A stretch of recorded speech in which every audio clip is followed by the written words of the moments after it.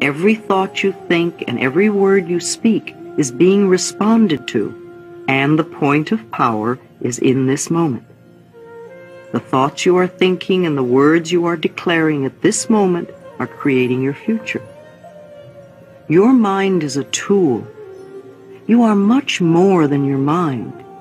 You may think your mind runs the show, but that is only because you have trained your mind to think in this way. You can also untrain and retrain this tool of yours. Your mind is a tool for you to use in any way you wish. The way you now use your mind is only a habit, and any habit can be changed if we want to do so. Quiet the chatter of your mind for a moment and really think about this concept. Your mind is a tool you can choose to use any way you wish. The thoughts you choose to think create the experiences you have. If you believe that it is hard or difficult to change a habit or a thought, then your choice of this thought will make it true for you. If you would choose to think, it's becoming easier for me to make changes, then your choice of this thought will make that true for you.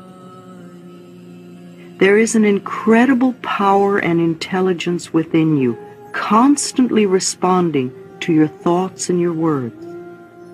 As you learn to control your mind by the conscious choice of thoughts, you align yourself with this power. Do not think your mind is in control.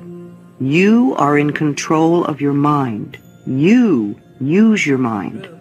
You can stop thinking those old thoughts. When your old thinking tries to come back, saying it's so hard to change, take mental control Tell your mind, I now choose to believe it is becoming easier for me to make changes. You may have this conversation with your mind several times before it will acknowledge that you are in control and that what you say goes. The only thing you ever have any control of is your current thought. Your old thoughts are gone. There's nothing you can do about them except live out the experiences they cause. Your future thoughts have not been formed, and you do not know what they will be. Your current thought, the one you're thinking right now, is totally under your control. You know, if you have a little child who has been allowed to stay up as late as it wishes for a long time, and then you make a decision that you now want this child to go to bed at 8 every night, what do you think the first night will be like? The child will rebel against this new rule and may kick and scream and do its best to stay out of bed. If you relent at this time, the child wins and will try to control you forever. However, if you calmly stick to your decision and firmly insist that this is the new bedtime, the rebelling will get less and less. In a few nights, the new routine will be established. It is the same with your mind. Of course it'll rebel at first. It does not want to be retrained. But you are in control. And if you stay focused and firm, in a very short time the new way of thinking is established. And you will realize that you are not a helpless victim of your thoughts, but rather a master of your own mind. Let's do an exercise, letting go. Close your eyes Take a deep breath. As you exhale, allow all the tension to leave your body.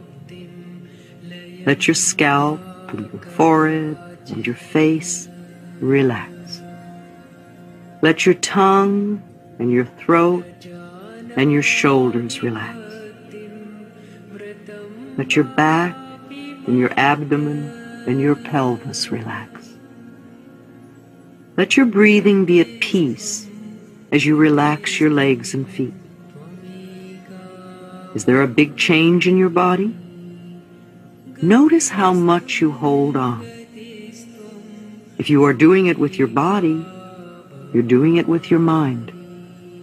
In this relaxed, comfortable position, say with me, I am willing to let go. I release all tension. I release all fear. I release all anger. I release all guilt. I release all sadness. I let go of all old limitations. I let go and I am at peace. I am at peace with myself. I am at peace with the process of life. I am safe. Repeat this exercise several times. Feel the ease of letting go. Repeat it whenever you feel thoughts of difficulty coming up. It takes practice for the routine to become a part of you. Chapter 7 How to Change. I cross bridges with joy and with ease. I love how-tos. All the theory in the world is useless unless we know how to apply it and make a change. I have always been a very pragmatic, practical person with a great need to know how to do things.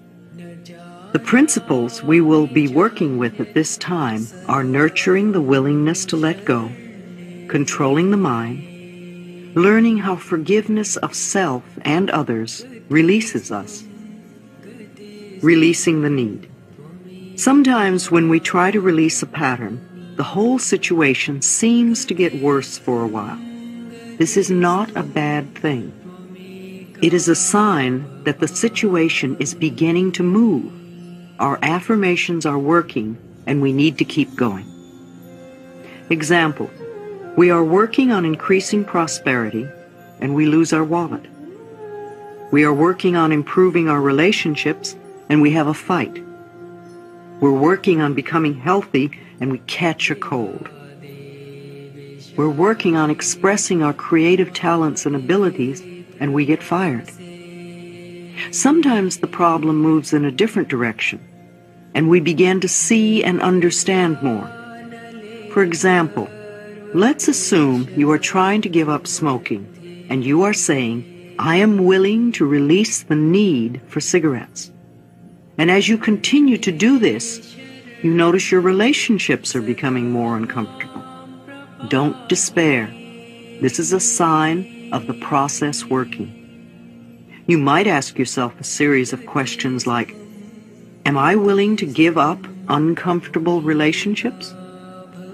Were my cigarettes creating a smoke screen so I wouldn't see how uncomfortable these relationships are? Why am I creating these relationships?